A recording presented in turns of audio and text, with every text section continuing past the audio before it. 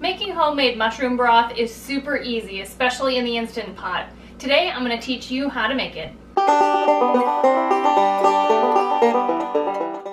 Hi everybody, welcome to Living Traditions Homestead. My name is Sarah and one of my ultimate goals is to learn to replace the things that I have normally bought at the grocery store. And I have moved on to replacing the cream of mushroom and cream of chicken soup in a can that you get from the grocery store I've been making cream of chicken soup for a while, uh, homemade, uh, but now I want to move on to replacing cream of mushroom soup. In order to make that, I need to first make a mushroom broth.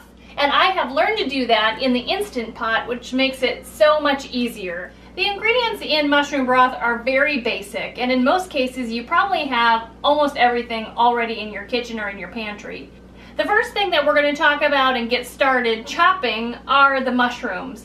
Now, I am just using white mushrooms from the grocery store. Um, they're inexpensive, um, and I don't really have access to specialty mushrooms and uh, they're really mild flavored, so that's why I'm going to start with those. If you have access to other mushrooms, or if you like portobello mushrooms or shiitake mushrooms, um, even dried mushrooms can be reconstituted and then added to the broth to make that. But I'm going cheap, I'm going simple and just using white mushrooms. So the first thing we need to do is we need to chop these mushrooms and we're going to saute them in the Instant Pot. While we wait for them to saute and while they're cooking down, we'll chop our other vegetables. You really don't need to be careful about how you're chopping these. Uh, you know, just rough chop them uh, so that there's more surface area in the uh, Instant Pot.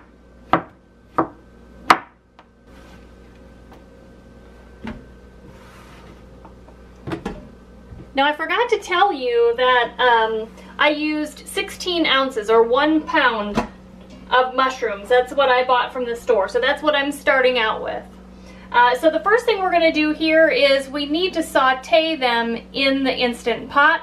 Um, so we are going to press the saute button on the Instant Pot and um, it's just going to set for 30 minutes. We're going to leave it open here. We're not going to let it saute for 30 minutes. We're gonna stir it. I'm gonna add a little water. I'm gonna add a little bit of water to make sure it doesn't stick to the bottom, but we're gonna just continue to allow it to saute and stir while I'm chopping the rest of the vegetables. The other veggies that I'm going to be chopping up to go inside of here are two ribs of celery, one carrot, and uh, one large yellow onion. Uh, once the mushrooms have uh, sauteed uh, down maybe 50%, then I'll throw these in there and saute them for a while as well.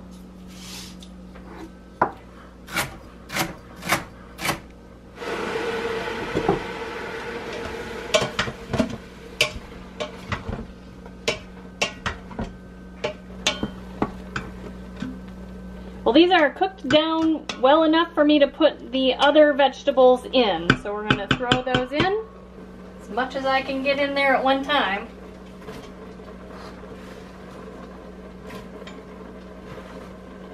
I'm just gonna stir these. I'm just gonna stir them real quick. And there are some other herbs and things that we need to add into there. We're going to add one nice sized bay leaf, some dried thyme. This is probably about um, one or two teaspoons of dried thyme. Uh, two to three cloves of um, minced garlic. My eyes are watering from the onions. Uh, these are black peppercorns. I'm going to do about a teaspoon of those. I'm also going to add about one tablespoon of dried parsley.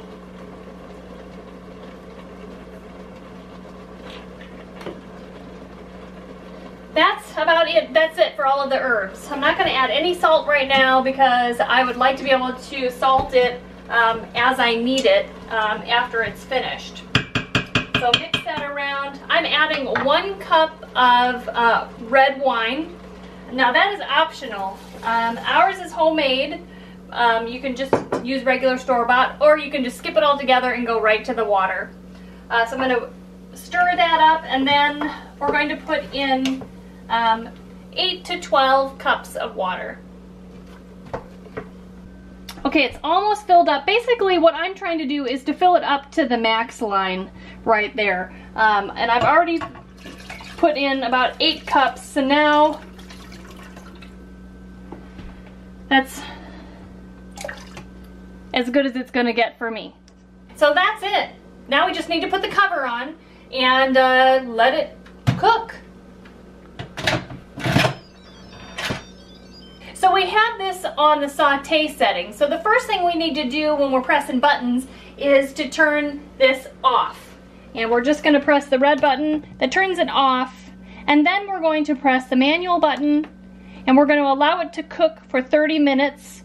And when it gets to the 30 minutes and turns off, we will let the pressure come down on its own. So after it comes up to pressure and it cooks for 30 minutes and then it comes down on its own, we'll come back and open it up together and see what it looks like. Okay, it's all finished. Let's see what it looks like. The big reveal.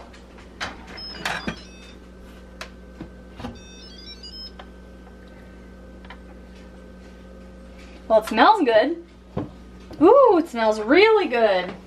So my plan for this batch of mushroom broth is to uh, put it in jars and let it cool in the refrigerator because I have plans to use it in the upcoming week. However, in the future, when I make batches of uh, mushroom broth, I plan to can it, uh, pressure can it.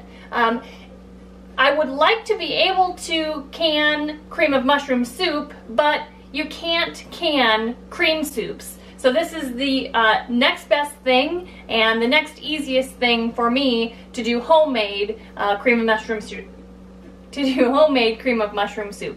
So let's start um, ladling this out. I'm going to be using um, a, uh, a canning funnel with a strainer on top of it to catch any of the bits that might come out. And let's just take a look at what this looks like.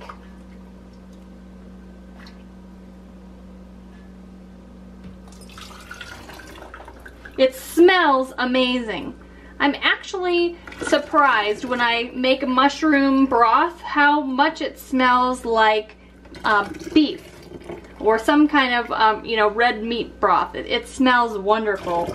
Now, if you um, want some extra ideas of what to make with your mushroom broth, you can not only make cream of mushroom soup, but you can make mushroom gravy, um, and um, you can use it as kind of a, a broth substitute in a vegetable soup. So look at that color. That is fantastic. I'm very pleased with how uh, that has turned out and it smells amazing. I can't wait to turn it into cream of mushroom soup. So I'm so happy to have found another way to eliminate more things from the grocery store and to do more and more things um, from scratch at home.